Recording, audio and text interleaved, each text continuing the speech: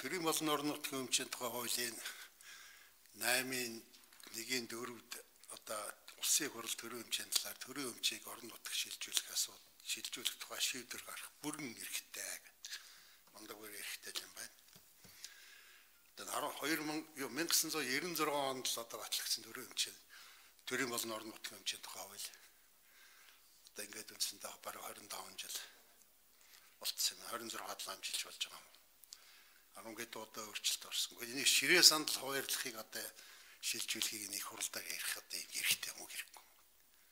Нууж авт машин нэг ширээ сандал нэг улсын байцаагч нарын нэг хэрэгжилж исэн хуучин тоног төхөөрөмж энэ төр гэдэг. Бидний гүйдлээ болохгүй байдаг юм шүү. Зингэл дараа та юу гэж бодож байна? Сая одоо үндсэн хуулинд өөрчлөлт оруулаад яам байгуулах засгийн газрын сайд томилхыг ерөнхий сайд өгсөн шүү дээ одоо манай төрийн эмчийн бодлого зохицуулалтын газар энийгээ шийдээ явж болдгоо юм. За бүр болдгоо бол тэр засгийн газар мазрын тогтоол гарчиж болдгоо юм. Ийм юм л одоо би асуух гэж байгаа нэгдүгээрт нь. За яг энд одоо мэрэгжлийн яналт татан богцсонтой холбогдол байхын ширээ сандал гэдэг автомашин л явж байгаа шүү.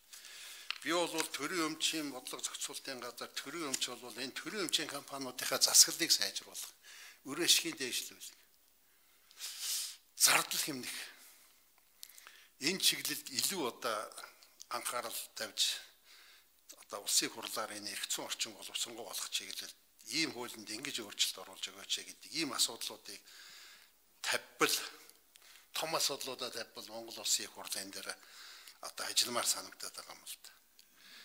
За энийг одоо энэ олон улсын туршлага гэдэг ингээд тавьсан юунаас ингээ харахаар зэрэг л одоо үндсэндээ компанийн тухай хууль, иргэний хууль, холбогдох хуулиудаараа шийдчихдэг юм байна заавал энд орж ирэл нэг бахан улсууд хуралдаал ингээд суугаад байх юм шаардлагагүй гэж үзэж байна. Тийм учраас энэ энэ төр дээр нэг хариулт өгөөч. Одоо нэгэнд ороод ирсэн учраас одоо энэ дээр тэгээд энийг хэлцээд явах нь зөв л байх л та. Хариулт авъя. За ажлын хэсэг 2 номер дээр цэнгэл дарга хариулъя. За Бантамбар гишүүний асуултанд хариулъя. Тэгэхээр Батбүр гишүүнээ хэлж байгаатай бол 100% саналыг байгаа бид. Тэр ч утгаараа бол төрийн болон орон нутгийн өмчийн тухай 1996 онд батлагдсан энэ хуулинд бол 30 30 гаруй удаа нэмэлт өөрчлөлт орж исэн. Гэхдээ энэ нэмэлт өөрчлөлт бол орохтой бол бодлогын хэмжээний нэмэлт өөрчлөхөөсөө илүү бусад хуулийг дагсан одоо шинжтэй ийм нэмэлт өөрчлөлт орж исэн.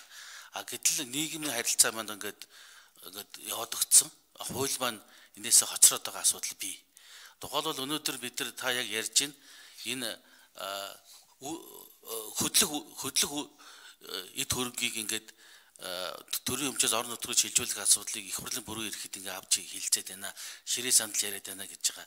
Бид энтэй санал нэг байгаа. Тийм ч учраас төрийн болон орон нутгийн өмчийн тухай хуулийн шилжсэн дайруулгыг их хурлд өргөн барьдсан байж байгаа. Хилцэх эсэх асуудал бол дэмжигдсэн байж байгаа. Энэ асуудал дээр энэ бүх одоо Э, саяны ярьж байгаа зүйлүүдийг бол засгийн газрын төвшөнд нь ярьдаг байя гэдэг.